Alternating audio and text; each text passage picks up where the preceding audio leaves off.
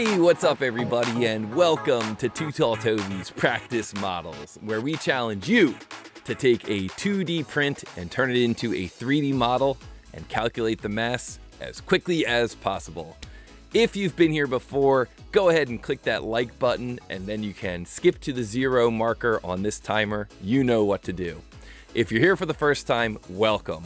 The goal of this video series is to provide you with good quality 2D prints that have all the dimensions and information you need to create a 3D model.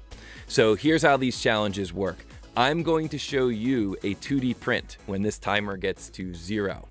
On that print, you're going to see a material property and a material density. It's going to be one of these three material properties. So take a moment, grab a screen capture of what's on the screen right now, and be sure that your materials in your library match these properties.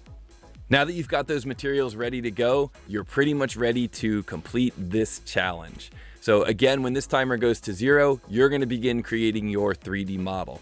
Once you get done creating that 3D model, you're gonna go into your mass properties tool and determine what is the mass of this part.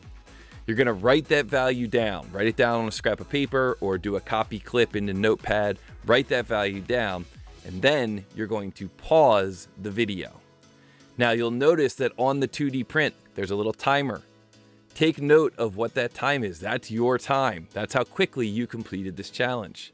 And finally, skip to the very end of this video, around the 20 minute mark, and you'll see that I have posted the correct answer. Did you get it right? If you did, go down into the comments and leave me a comment. Let me know how long it took you and what you thought about that challenge. If you didn't get it correct or if you didn't finish in time, don't worry about it. It's all good.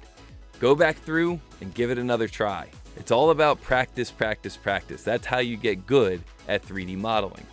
So, on that note, if you want some more practice, be sure to check out some more of these Too Tall Toby practice models videos.